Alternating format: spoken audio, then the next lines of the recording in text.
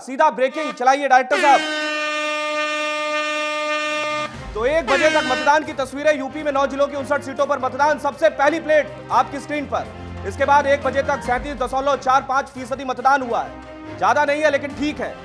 और इसके बाद लखनऊ में आपको बता दें तो पैंतीस फ़ीसदी बांदा में अड़तीस फ़ीसदी के लगभग मतदान हो चुका है और फतेहपुर में चालीस फ़ीसदी, पीलीभीत में इकतालीस फ़ीसदी मतदान हुआ है अभी तक। लखीमपुर खीरी में 40 फ़ीसदी से ज़्यादा, रायबरेली में 40 फ़ीसदी मतदान। हरदोई में चौतीस दशमलव चार पाँच फ़ीसदी मतदान, वही उन्नाव में अड़तीस फ़ीसदी मतदान हुआ है अभी तक।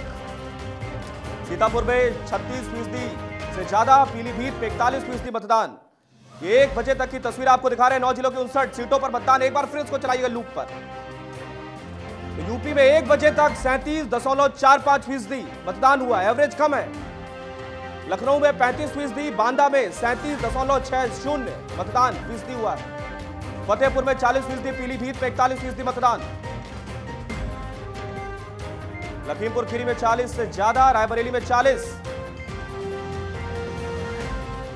ये थोड़ा सा थोड़ा सा थोड़ा सा थोड़ा सा कम हो गया।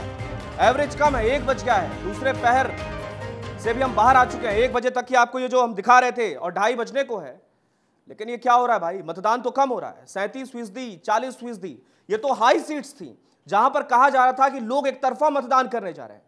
जहाँ पर कुछ ऐसे मुद्दे थे, लखीमपुर खीरी की मैं बात करूँ, एक ऐसा मुद्दा जिसको लेकर कहा जा रहा था कि सियासी राजधानी दरअसल यही है। आशीष मिश्रा टेनी भी नज़र आए, आज सुबह वोट डालते हुए। इनके खिलाफ तो कहा जा रहा था कि एक तरफ़ पूरा समूह जो है वोट करेगा। और हम लोग तो ये इस चीज़ को सोच रहे थे कि सुबह से लखीमपुर खीरी में लगातार लाइनें देखने को मिलेंगी। क्योंकि सियासी राजधानी है, मुद्दा बड़ा है, बड़े मुद्दे के साथ। लेकिन इस बीच ये तो अभी तक ठीक नहीं है कि अभी तक सैंतीस फ़ीसदी, चालीस फ़ीसदी मतदान हुआ है। अभी तक ज़्यादा मतदान की ज़रूरत थी। लेकिन जैसा कि मैं लगातार कह रहा हूँ कि कहीं भी कोई भी गड़बड़ झाला, किसी भी तरीके की कोई भी एंटी सोशल एक्टिविटीज़ अगर की जाती हैं तो न्यूज़ वर्ल्ड इंडिया का कैमरा एक एक जगह पर, उनसठ सीटों पर लगातार सुबह से कायम है। और कहाँ लगा है यह भी नहीं बता रहे हैं, लेकिन लगा हुआ है और एक एक जगह से कोई भी बच नहीं सकता।